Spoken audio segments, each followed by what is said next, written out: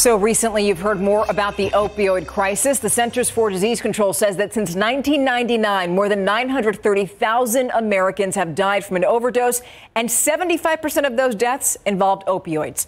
Chances are you know somebody who's been affected. And fentanyl, which is a synthetic opioid, has made that situation far worse. The CDC says that in Texas, from 2019 to 2021, overdose deaths rose by 399 percent.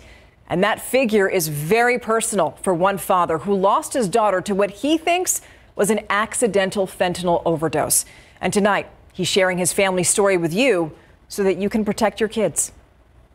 She uh, played trombone in high school, but she um, she was a sight reader, and so she could um, read a sheet and then just start playing it. Mark Fahlsing's face lights up when he talks about his daughter, Jessie. She was a good kid, helpful. Jessie was 18, studying math at UTSA. Her goal was to become a doctor.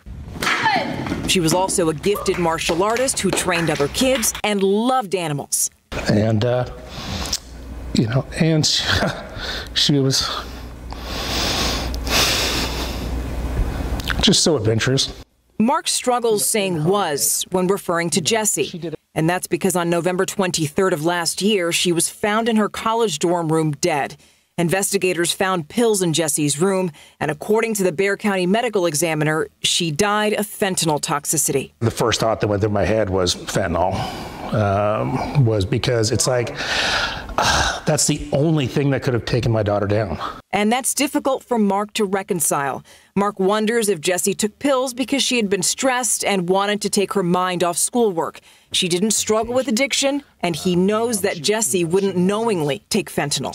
The irony is, Jessie worked to keep other people safe from fentanyl. She volunteered at clinics and warned people about the dangers of fentanyl. Even two weeks prior to her death, she was handing out Narcan to uh, to people on the street and talking to them about it. Now, Mark is trying to focus on all the good that Jesse did for her community. He wants to be at peace. That's why he has a message for parents. Talk to your kids and warn them about fentanyl. This stuff will kill you uh, with no warning. Um, and you know, and, and you know, when your parents like us, when you send your kids off to off to college, you know, and they're kind of in that bridge to adulting, you know, that adulting light when they're living on, on campus and they're under kind of a structure and stuff, it's like they're still in danger.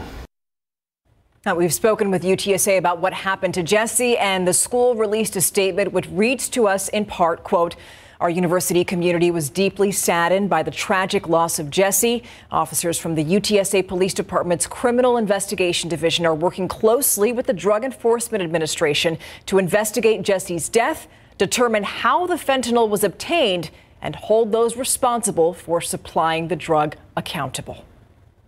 Now, our coverage of the opioid crisis continues online. What we want you to do is just scan that QR code that you see on your screen because from there, it'll take you directly to our website where we have other stories that show the dangers of fentanyl.